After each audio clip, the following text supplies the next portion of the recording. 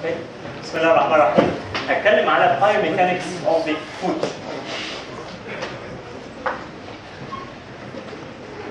In the foot we have lots of bones and lots of joints, but what we should remember that no one move in isolation.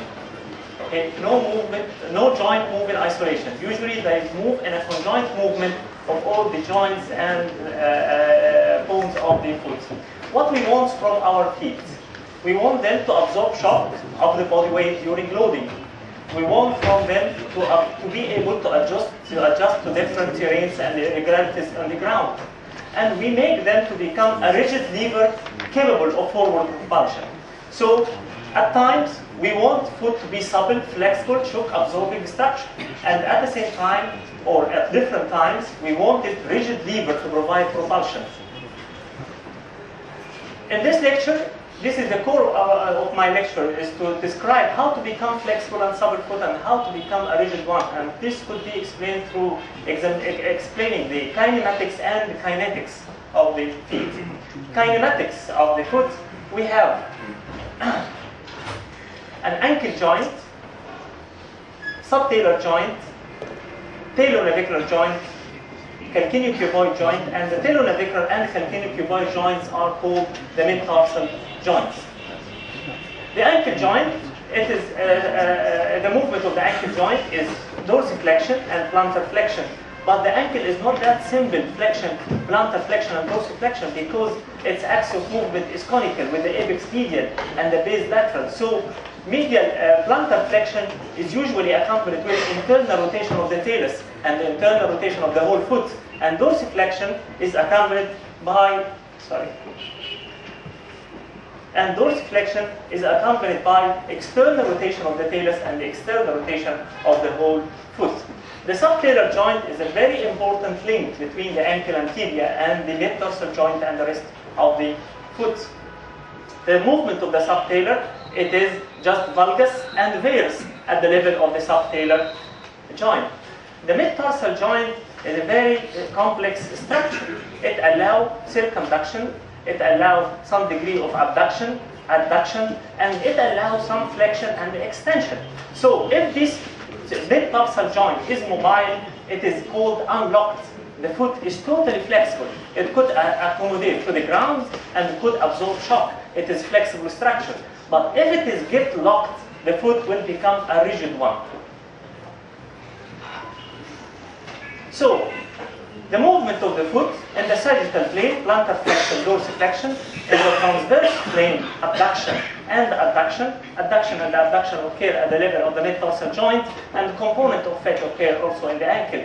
And the frontal plane inversion and eversion occur at the level of the subtalar joint. But actually, the movement is not that simple. It is a 3D movement, what is called supination and pronation. Supination, it is a plantar flexion plus adduction plus inversion. And to define supination, the sole of the foot is facing onward. And pronation, it is the reverse. Dorsiflexion, abduction, and eversion. And this is called, the, the sole of the foot is facing outward. So pronation, the sole is facing medial, and so, so supination of the foot is facing medial, and pronation is the, the sole of the foot is facing lateral. And this combined or triplanar movement actually occurs at the level of the ankle, subtalar, and mid-tarsal joints. How do these joints work in harmony? ازاي الجوينت دي بتشتغل مع بعض وبتقدر تعمل ال ال ال ال ال 3 دي موفمنت هنبداها من الميد تارسل جوينت هنبداها from up from down up the mid-tarsal joint to be unlocked and to be mobile the heel should be in eversion this means the subtalar joint should be everted for the mid-tarsal joint to be unlocked and to be mobile but when the, the, the, the heel or the subtalar joint is in inversion the, the mid-tarsal joint will become locked. Or if we start by locking the mid-tarsal joint, then the heel should be inverse. There is a term introduced uh, uh, uh, by Concetti that what's called calcaneobedis block. There is a link between the forefoot and the calcaneum. So when I do adduction of the forefoot, automatically the, the, the heel should go into varus. And when I do abduction of the forefoot, the heel should be should go into valgus. At this valgus position, the mid-tarsal joint will be unlocked, and in this varus position, the mid-tarsal of the uh, joint will be locked. The subtalar joint act like what's called mitered hinge. Mitered hinge اللي هو زي الهنج اللي بيحول الاكسس movement into another axis في العربية. ف, ف rotation of the proximal segment will produce rotation of the distant segment in the opposite direction. And if we try the opposite rotation, it will produce an opposite rotation in the distal fragment. Remember that I can start the movement from proximal and I can start from movement from the distal. It will produce the same effect in, in a controversial manner. So if we did internal rotation of the leg, the heel will be pronated and the foot will be pronated, the heel in valgus and the mid-tarsal joint will be supple, will be flexible.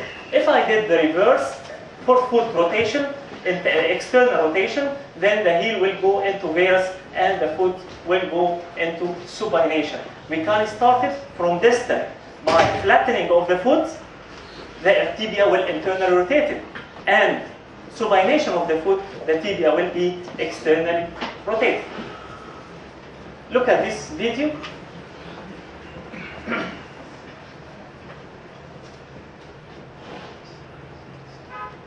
With inversion, the tibia rotate internal, and with supination, the tibia will rotate external. Look how we can change the rotation of the tibia by changing the position of the foot. This is what uh, Dr. Khaled did mention before. Okay? How to describe foot movement? Describing the foot movement, either the open kinematic chain. What is meant by open kinematic chain? Describing the joint movement or the foot movement when it is in the air. Okay? And this open kinematic change, we can describe plantar flexion, dorsiflexion, abduction, adduction, supination, and pronation. This open chain description in the swing phase. Swing phase means that the foot is off the ground زي ما دكتور عمرو هيشرح في النورمال gait mechanisms. And the closed kinematic chain motion this means that description of the movement with the foot is on the ground and carrying the body weight. When the foot is flattened, the, the, the, the, heel in valgus and the tibia is internally rotated. When we do pronation, supination, the foot become into inverse and the tibia will externally rotate. So in this position, when I'm standing and the heel in valgus, I know that the, once the heel in valgus, the foot is supple and flexible and the mid-tarsal joint is mobile. And this is a flexible foot that can adapt to the ground and can absorb shock. But once I'm standing like that, the heel should go into inversion and the tibia into external rotation and the mid-tarsal joint should be locked to provide a rigid fulcrum or a rigid lever to provide propulsion and to carry on the body weight. So to remember, the subtalar joint, once it is in valgus, the mid-tarsal joint should be supple and the, the tibia in internal rotation. And once it is in varus, the foot is supinated and the mid-tarsal joint is locked and the, the, the tibia is external rotated. We can start chain from the tibia downward and we can start the chain from the foot upward to the tibia. But these joints should occur with each other and these groups should occur with each other. Pronated foot, normal foot, and supinated foot. What occurred during gait? During the stance phase, phase, as I told you, it is a closed chain description. Okay, and during the swing phase, the foot is off the ground, we are describing an open chain movement. So during the stance phase, what I expect during loading, during loading and the contact phase, I want it supple or rigid? Supple. من يبقى وانت مغمض يبقى الفوت هنا ايه؟ The, foot, the heel is in, in, in, in inverted. The mid-tarsal joint is flattened. The forefoot is abducted. The tibia is internally rotated. Okay? Once you want it supple.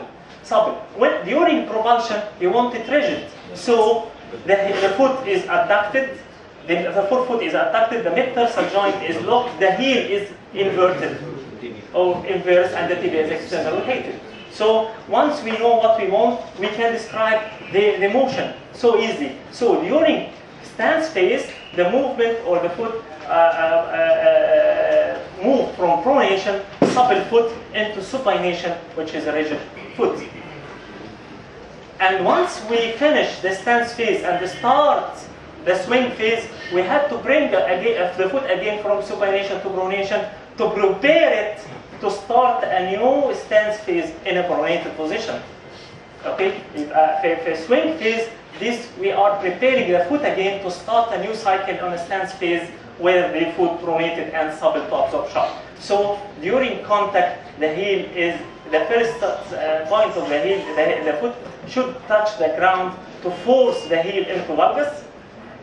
This is the point اللي بيحصل فيها الماكسيمم ويف في الشوز بتاعتنا كلها اللي هي lateral part of the heel because touching the ground and loading of the foot at this point will force the heel into valgus because I want the heel into valgus to, to make the mid-tarsal joint supple. And once I touch the ground in this way, the tibia will be forced into internal rotation. During push-up the, the, uh, or propulsion, the, heel, the, the foot has to be rigid and the heel has to go into verse. حاجتين مهمين ممكن نتكلم عليهم ميتاتارسال بريك دايما نسمع على حاجة اسمها ميتاتارسال بريك الميتاتارسال بريك بص length of the metatarsals are not equal they are shorter on the lateral side and longer on the medial side طب ده بيعمل إيه increase supination at propulsive phase إزاي بص للصوره دي because the metatarsals are not equal, when once I'm standing on the toes, the, the foot has to go into adduction because the, the fifth one is shorter than the first and second one. This, this adduction of the forefoot I لي ايه؟ The calcaneopedes block هيعمل لي على locking of the mid-tarsal joint inversion of the heel. this is a passive mechanism by which I can make the foot a, a, strong lever without any muscle activity. This is a passive mechanism to provide a rigid column by the, the foot.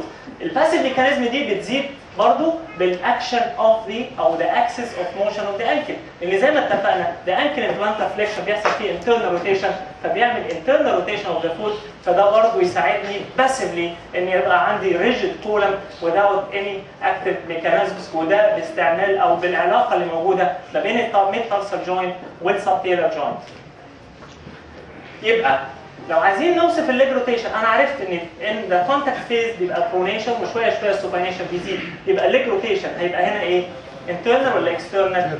internal يبقى with in the stance phase it starts with internal rotation and then progress to external rotation at propulsive phase. إزاي الم... ال... ال... ال... ال... الفوت ابزورب تابزورب شوك إزاي تقدر تابزورب شوك هو المساعد في العربية أو شوك ابزوربنج ميكانيزم في العربية بيشتغل إزاي؟ لما بتقابل مطب بيقصر وبعد كده يدخل تاني. أوكي؟ هو دي نفسها الميكانيزم اللي فيها الفوت بتابزورب شوك خلاص اتشورتن ذا ليمب إزاي لما بعمل كونتاكت أو هيل سترايك أو هيل كونتاكت ده بيحصل برونيشن this pronation is shortening the limb because the height of the limb in pronation is less than in supination. نمرة اثنين لما الفوت to go into pronation بيحصل إيه؟ بيحصل forceful rapid internal rotation of the leg. الانترنال روتيشن اوف ذا leg هيعمل إيه؟ هيعمل لي unlocking of the knee. يبقى أنا أول ما بعمل هيل كونتاكت زي ما الدكتور عمرو هيشرح ببقى الني extended بس once I'm touching the ground the knee should flex and then go up again. This flexion to occur, there should be unlocking of the knee. The foot is responsible this movement of the unlocking of the knee to allow some flexion. And this flexion will decrease the height of the limb and this is the absorption, absorption shock mechanism of المساعد بتاع العربية. Kinetics. Kinetics, the ground action force اللي هي the center of pressure is the point at which the force are considered to act.